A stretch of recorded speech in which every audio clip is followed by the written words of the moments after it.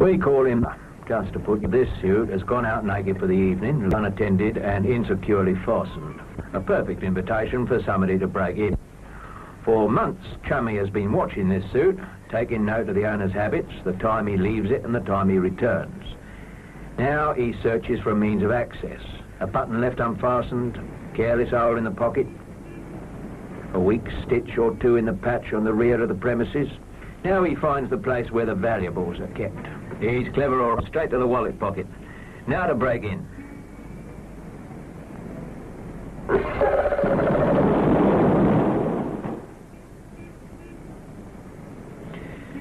Well, that's it. So don't let it happen to you, will you now? Well, mind how you go and drive carefully.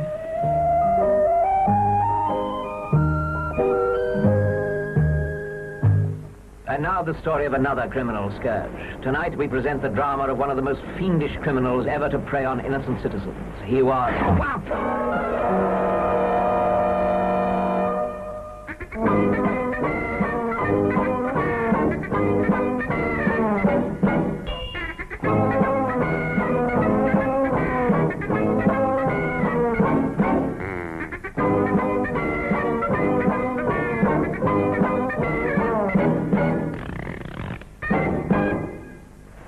The English Channel, 1941. Just a minute, Jim. Are you sure this is the English Channel 1941? Well, taste it and see it. You're right, Jim. English Channel 41. A vintage year. Thank you, Tom. Uh, a pleasure, Jim. Goodbye, Tom. Goodbye, Jim. Now get out. As I was saying, the English Channel 1941. Across the silent strip of water in England, coastlines were deserted, except for people.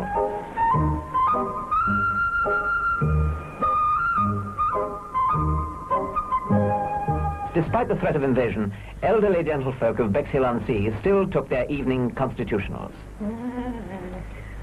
Henry, what a lovely summer evening. Yes, the cold wind's lovely and warm. I think I'll take off one of my cardigans. Here, hold my elephant gun, Min. I don't know what you brought it for. You can't shoot elephants in England. Why not, Min? Well, you know they're out of season. These two old people are, of course, talking rubbish. As erudite people will realize, there are no elephants in Bexhill, which is in Sussex. They're only found in Kent, north of a straight line drawn between two points, thus making it the shortest distance. Ah, ah, well, if that's how it is, I can't shoot any. Oh, Henry, we'd better get home. I don't want to be caught on the beach if there's an invasion. Neither do I. I, I, I just... What, what? Did you hear a gas oven door slam just then? Don't be silly, Henry, lad. Who'd be walking along the promenade with a gas stove? Lady Lewisham. Apart from the obvious ones, who'd want to... Can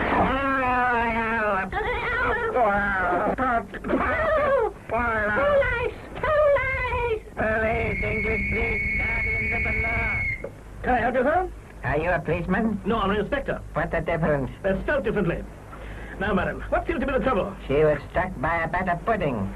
Another moment too soon.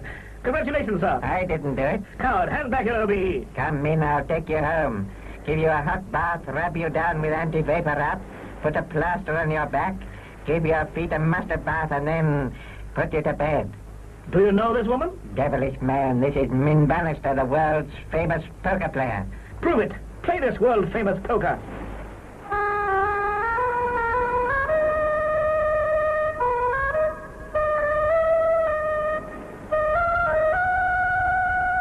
Thank you, madam. I'm satisfied. Now, get off this promenade. The Germans are only 28 miles away across the channel. I must report this to my superiors. Goodbye. As I lay drying myself in bed that night, I kept wondering, who on earth would want to strike another with a batter pudding? Obviously, it wouldn't happen again. I was wrong. The very next day, a strolling outdoor parent was savagely assaulted. Oh, my! All right, what's going on here? I'll be walloped with a batter pudding, officer. I'll put that down in my notebook. Now, tell me all. Well, I was sleeping on the piano here, when all of a sudden a gas stove draws up and out leaps a man with a batter pudding in his hand. What's that up there, he says. Up I looks and wallop, right in the mush. I see. Have you ever committed a murder? No, Hmm. Can't get you on that then. Tell me, why were you sleeping on the piano in the field? Because the grass was damp, mate, and I don't want to get the nadges again. My wife's got the lurgy, my eldest boy's got the plin, mate. I'm sorry, yes, I'm sorry. Sergeant Throat, take this man along to the station Yes, sir. and put him on the train to Birmingham. Look out, mate, I tell you, I was wallop. With the batter footed wallop, he went splat right up me mush. I dismissed the strolling pianist's story as a lie. Obviously, the batter pudding had been self-inflicted. Pardon me, sir. I am the manager of the Red Indian Youth Hostel. We have had an incident. Really? What happened? We were sitting down playing ping pong in Oriental style when suddenly a gas stove approaching from the east from the direction of forwards and the occupant is leaping out and throwing the batter pudding right into the mush of Bertram Raj- J. Singh. He's floating backwards in the direction of down. Dad, then that old man sleeping in the piano was telling the truth. Yes, old boy. Constable, go up to Birmingham and bring him back. I'm sending someone for you. Oh, mate. Now, off you go and say nothing about this, especially to each other.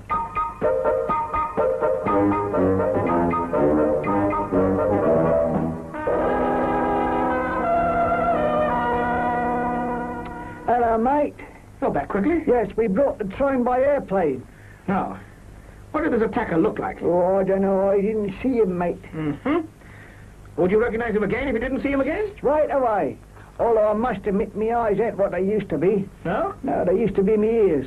Oh. Sergeant, take this man to Birmingham and put him on the police station for cruel. Respond corruptly, sir.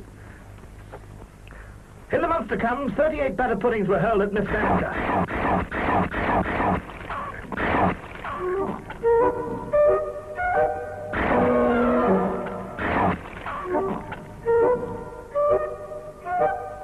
A madman was at large. You must take the first train to Lodge. Scotland Yard will call in. My name is Scotland Yard. Pleased to meet you. Have a truncheon.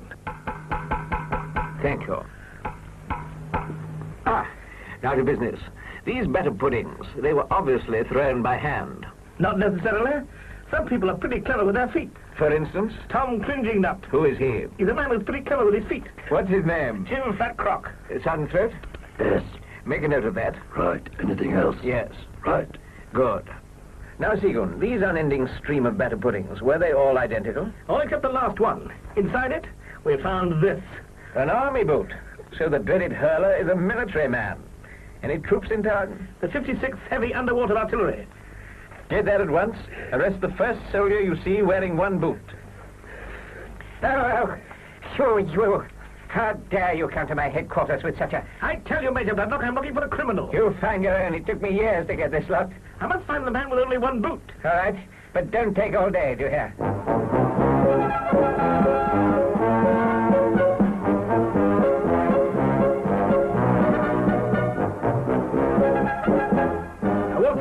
Looking for the soldier with one boot.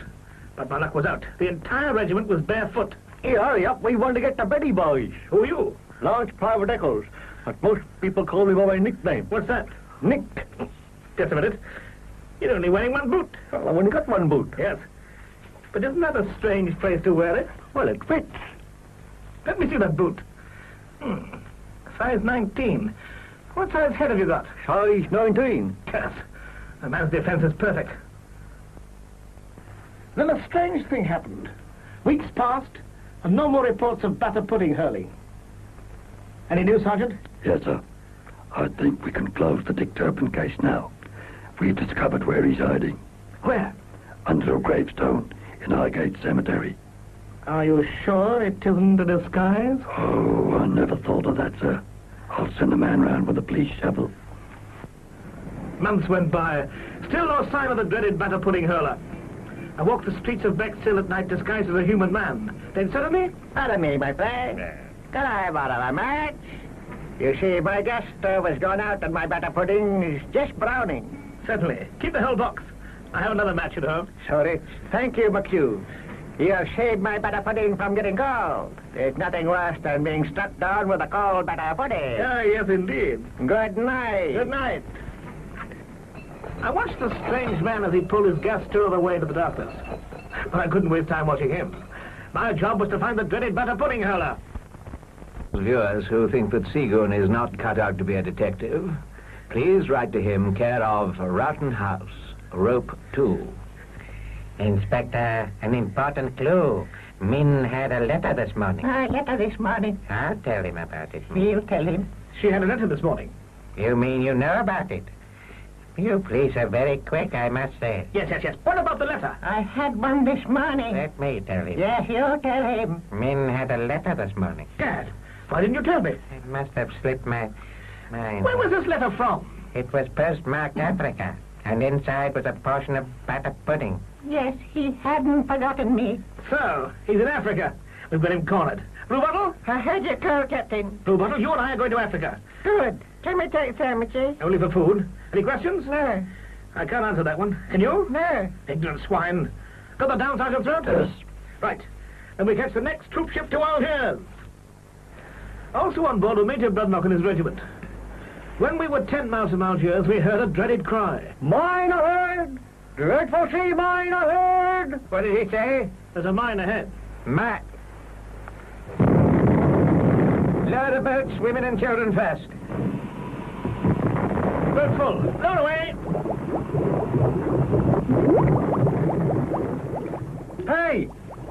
Make room for me, I'll pay you ten pounds. Help! You swine, Bloodnok! Business is business, Egon. I'll pay twenty pounds for a place in that boat. Good in, Captain Seagull. Thank you, Eccles, my friend. Thirty pounds for a place. You ain't my friend. Good old Seagoon. My pal. Fifty pounds for a place in the boat. Who splashes? Who did that? I did it, I did. I grabbed their touches and up into the water. Yeah. Good old bottle, you saved my life. And mine. None of that rotten tot dead in for me this week. No dead in this week. No. I like this game with no dead in Echo. I, I like it too. What school did you go to? A reform. Tricked by the brilliant planning of Blue Bottle and Eccles, Bloodnok and I scrambled onto a passing raft. For 30 days we drifted to and fro. Then hunger came upon us. Ah, if I don't eat soon, I'll die. And if I die, I won't eat soon. But wait. Can I smell cooking or do me ears deceive? Dad, a gas stove. Could this be the end of our search? Uh, I'll knock on the oven door. Just a minute. I'm in the bar. That voice. I've seen it before. Good morning. I. Move.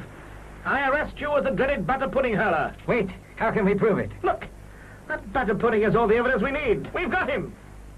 But it wasn't so easy. For days, for weeks, for months, they drifted on their open raft. Let's eat that batter pudding or we're going to starve. No. Do you hear me? No. That's the only evidence we've got. Still, I, I must admit this hunger does give one an appetite. We must eat it or die. Never. Should Seagoon eat the batter pudding and live, or leave it and in the cause of justice die?